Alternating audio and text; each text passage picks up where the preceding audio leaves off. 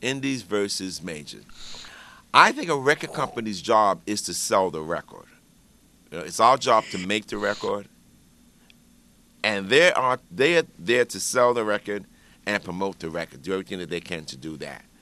So I don't necessarily know if there's any difference between uh, indie because uh, indie's got to be distributed by a major, basically, unless they're going to have all their own distribution setup. But again, if they're they they handle it the same way, you might be able to get something done a lot quicker at an indie because it's not large corporation; it's independent. So there's one guy you can go to and get what you need done that day. Where it may take majors a little long to get things done. That might be what I see the difference is.